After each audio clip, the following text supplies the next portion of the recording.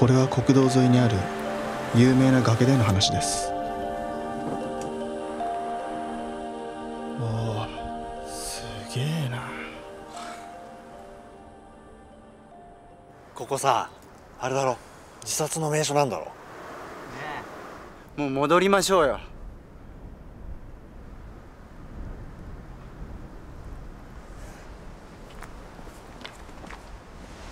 ちょっと崖の下覗いてみてくれ絶対嫌です いやいやいやちょっとだけだからさな。ちょっとってなんですか？大丈夫だって。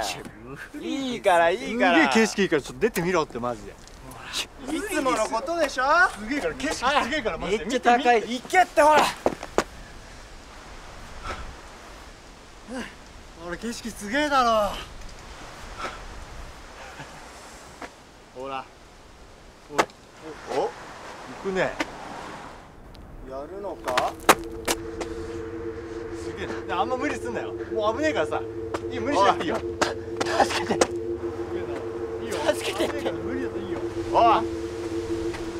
おい戻れって。助けてって。おい。おい戻れって。助けてって。おい。なんかおかしいよおい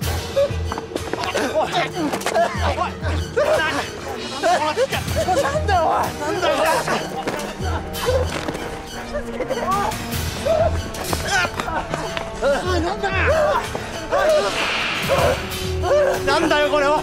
どうすんだよ。これおいなんだよこれ。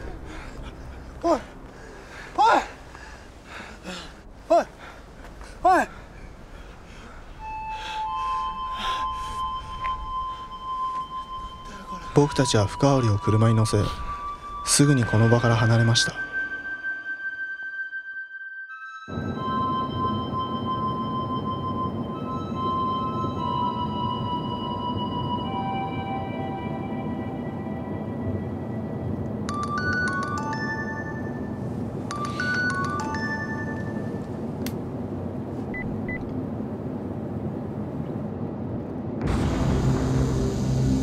なあ。